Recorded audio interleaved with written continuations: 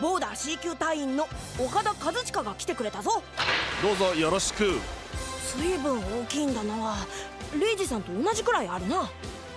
防衛任務をしていない時は何をしてるんだ？俺は新日本プロレスでレスラーをやってるプロレスラーだ。プロレスラー？なんだそれ？リングの上で技を競い合う格闘技の選手だ。ふむふむボーダーの任務に活かせそうだなオカダカズチカはどんな技を使うんだ？必殺技はレインメーカーだ。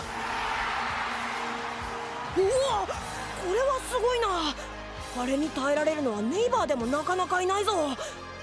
やっぱりオカダカズチカはその体格を生かしてアタッカーなのか？俺はレインメーカーだ。オカダカズチカじゃないの？だからオカダカズチカはレインメーカーだ。プロレスラーじゃないの？だから俺は岡田和親でプロレスラーでレインメーカーでボーダー隊員だ。